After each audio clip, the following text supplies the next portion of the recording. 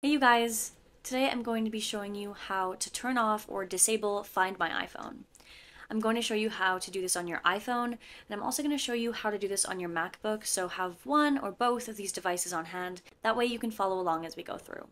Let's jump right in. So first off, I'm going to show you how to do this on your iPhone. This is super simple. All you're going to do is launch your settings,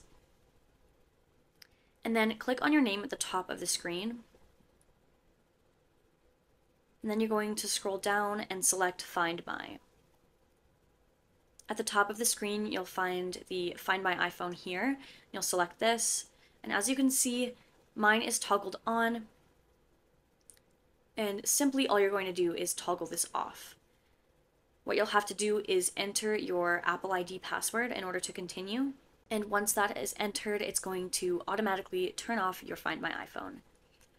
If ever you wanted to go back in and turn this on again, you'll just follow the exact same steps as before.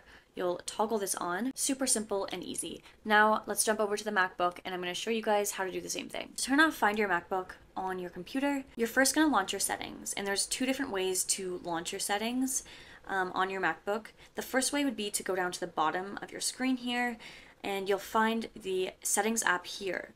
If, however, you couldn't find it at the bottom of your screen though, what you can do is go up to the top left hand side, select the Apple logo here, and you'll find the system settings right there.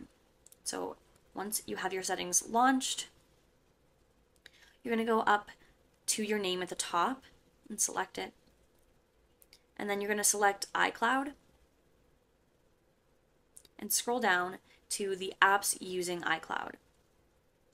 Here is where you're going to find the Find My MacBook. And if it doesn't pop up right away, you're just going to select Show More Apps here.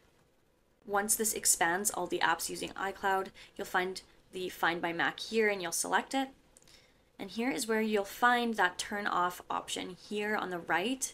You'll select it, and just as before, you'll have to enter your Apple ID password again once it's been entered, you'll just select continue, and that's automatically going to turn off your Find My MacBook. Alright you guys, that's it for today's video. I hope that you found this helpful. Thank you so much for tuning in, and I will see you guys in the next video.